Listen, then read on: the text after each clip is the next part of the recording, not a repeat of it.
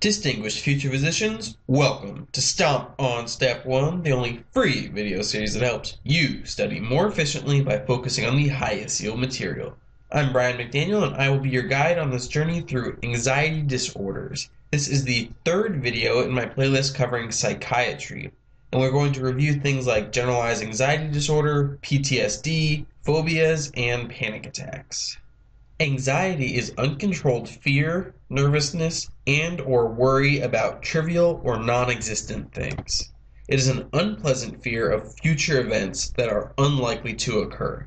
Some patients have insight and realize that their uneasiness is illogical, but that does not alleviate symptoms. A certain level of anxiety is considered normal in many situations, but frequent anxiety or anxiety that inhibits function is pathologic. During anxiety, sympathetic nervous system activation can result in physical symptoms such as palpitations, tachycardia, shortness of breath, muscle tension, restlessness, lack of focus, sweating or chills, and changes in sleeping patterns. In order to make a diagnosis of anxiety, one must rule out other potential causes of these symptoms. The differential diagnosis for anxiety includes other psychiatric disorders, cardiac abnormalities such as myocardial infarction or valvular disease, endocrine disorders like hyperthyroidism, and respiratory disease such as asthma or pulmonary embolism. Substances such as street drugs and prescribed medications must also be ruled out as potential causes of these symptoms. We're going to hold off on discussing most of the different treatment options for anxiety until a later video that will cover all of the pharmacology for the psychiatry section. That video will cover things like SSRIs, anxiolytics, and cognitive behavioral therapy, which can be used to treat anxiety disorders. However, during the video I will mention a couple of treatment options that are used for specific anxiety disorders. We will start our discussion with generalized anxiety disorder or GAD. You can see here in the top right corner I give GAD a high yield rating of 2. For those of you who aren't familiar with the high yield rating, it is a scale from 0 to 10 that gives you an estimate for how important each topic is for the USMLE Step 1 Medical Board exam. GAD is a prolonged period of near constant anxiety. Their anxiety is not linked to a specific item, person, or situation, so it isn't a phobia. They usually worry about a wide variety of things including school or work performance, finances, health, friends, and or family members. Their anxiety is generalized across many situations. Their anxiety frequently presents with physical symptoms and may be severe enough to impair function. A panic attack is a sudden onset period of extremely intense anxiety, accompanied by numerous signs and symptoms of anxiety. The attack is often associated with a sense of impending doom. These episodes usually last 10 to 30 minutes and are disabling. The patient returns to their normal level of function soon after the panic attack. They may be brought on by an inciting event or be completely unprovoked. I'd like to stop here for a moment to clarify the difference between generalized anxiety disorder and a panic attack. GAD can be thought of as a constant, moderate level of anxiety, while panic attacks are short periods of severe anxiety.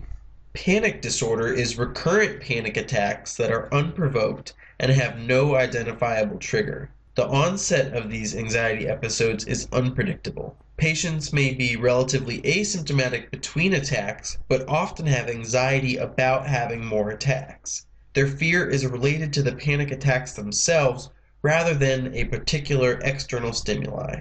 This differentiates panic disorder from panic attacks that are caused by things like phobias. Agoraphobia is anxiety related to open spaces and or crowded places.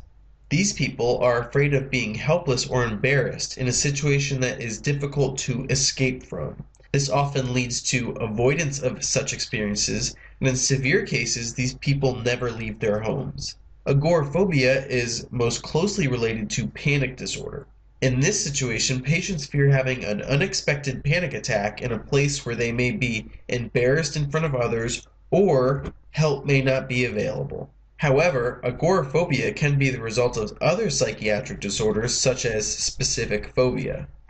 Specific phobia is an excessive amount of anxiety related to a specific situation or item that interferes with function. Common examples include fear of heights, spiders, or medical injections. These individuals can be relatively asymptomatic in the absence of exposure to what they fear. Some individuals will adapt quite well and you won't even know they have a phobia because they are good at avoiding the exposure. For example, somebody afraid of heights may move to an area with no mountains or high rise buildings. Specific phobia can lead to a panic attack. However, these attacks only occur as a result of exposure to what they fear. They will not have panic attack in the absence of external stimuli.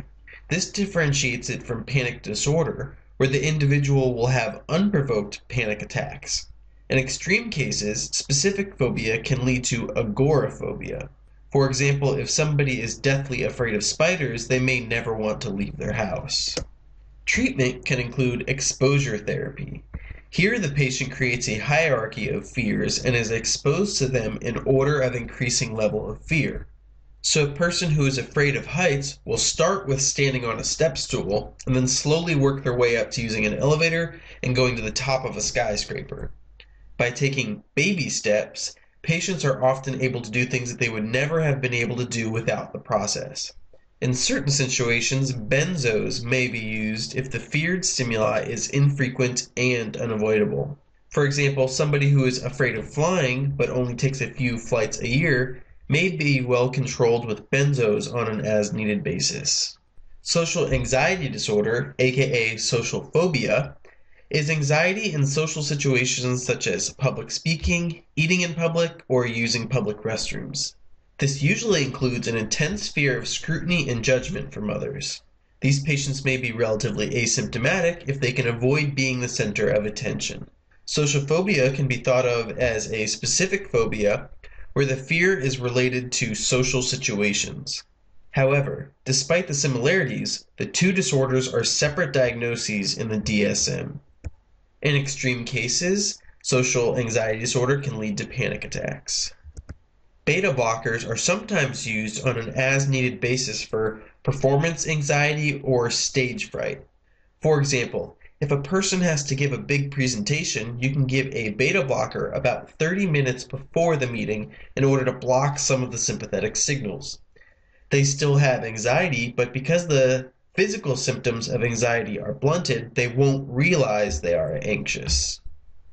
Obsessive compulsive disorder is anxiety and intrusive thoughts that drive the patient to unusual repetitive actions called compulsions. The compulsions temporarily relieve the anxiety in some patients, while others feel like they just have to do their rituals. Common compulsions include counting their steps, repetitively washing hands, preoccupation with certain numbers, and rituals such as opening and closing doors repetitively.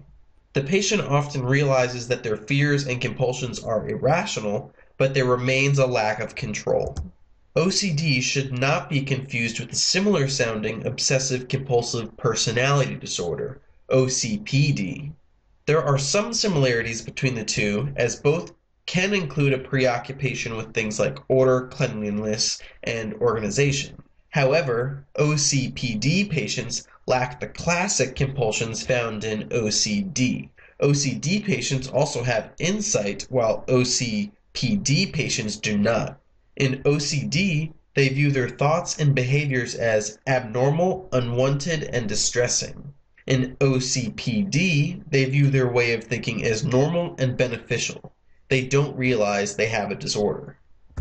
We will discuss OCPD in much more detail in a later video covering personality disorders. If you'd like to skip ahead to that video, you can click on this orange box here. Post traumatic stress disorder is anxiety related to a traumatic experience that may include flashbacks, nightmares, and avoidance of certain triggers that remind them of the experience. These patients may also have hyperarousal, where they have an amplified response to external stimuli such as loud noises. Classically, the trauma is experiencing or witnessing a life threatening event or sexual assault. Symptoms must be present for more than a month in order to make a diagnosis of PTSD. If these same symptoms last for less than a month, the patient would be more correctly diagnosed with acute stress disorder. That brings us to the end of this video. If you found it helpful, please leave a comment below. Feedback from our viewers helps us improve Stomp on Step 1 and rank higher in search results. The next video in the psychiatry section is going to cover malingering, somatoform disorder, and factitious disorder. If you would like to be taken directly to that video, you can click on this black box here. Thank you so much for watching and good luck with the rest of your studying.